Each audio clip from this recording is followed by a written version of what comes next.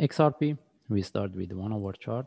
Okay, I want to give a quick update uh, regarding my last video because when the price was here, we mentioned me whether we can buy or not. First of all, there is no more changes in compared to my last video. The only thing is we got this move. That's why traders, they can still they can refer to my last video for the analysis. Then at least they know what we are talking and how we analyze the chart because we mentioned whether this is the only correction or we can expect a bigger correction. Okay, now uh, the only thing is because when the price was here, if we we mentioned that if this one become deeper correction, we can buy. By the way, anyone bought within this small correction, at least I mean the only way they could buy having entry above this, they should know this is not moving.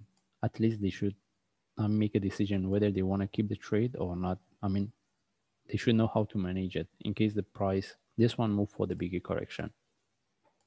Okay, and beside that, uh, I need to mention that on 22nd, we will have the news for the XRP. That's why anyone is trading or even they want to buy for the long term, they should be aware of that. Okay.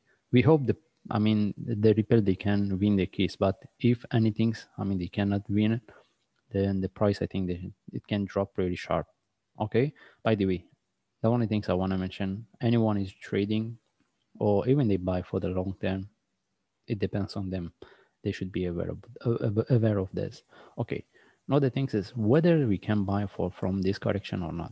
The only thing is we need to mention where is it? Is in the middle of the correction? Even you get any buy within this one, the top is here. You need to know whether in terms of the risk and reward. Okay, because in my last video I mentioned if this is the only correction and this is the start of the up move is good. Okay, we can rewrite this, but we need to know maybe the price can take then we will have the bigger correction for one more drop. Okay, now whether we have the, any of the this is the only correction or we're looking for the bigger correction i think this one if become a deeper more i mean deeper correction then we can get the better opportunity to buy rather than no. Because if we move to 15 minutes we don't see any opportunity to buy. And the only way is to have entry above this which is not really good idea because this is the risk i mean the reward and this is the risk.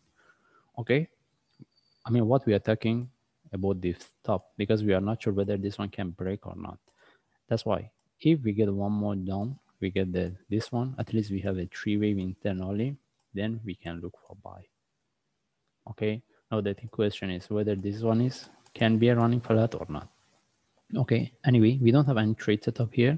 The best thing is the, the price to drop before we get the next move. I'm having a trade above this, I just leave it for the traders. And uh, if I move to one hour chart, as I say, and again, those traders that are within this trade, they should know what to do. Okay, and if we move to four hour chart, what I want to mention here that we are still within this correction. And how complicated this one can be for one move down or the continuation all it depends on the price move here to the top. And beside that we're getting the news okay? No we cannot confirm the direction because of the news but we should be aware that if they cannot win what we have here sorry what we have here may can repeat again. Okay? That's why anyone wants to take the trade they should be aware of that. And one more thing I need to highlight here. Okay, whatever we mentioned about buying here with the buy setup or anything else is not only for the trading, even for those people they want to buy for a long term. Because when the price was here within this move, I mentioned this one can go to the 60 and we see it move to 64, then drop, drop to 50. Okay. Even those people they want those um, they want to invest as a long term I think buying here was not good for them. If they buy at this level, can give them better. I mean, the I mean the the reward will be more than if they buy here, and even we don't know how deep it it move.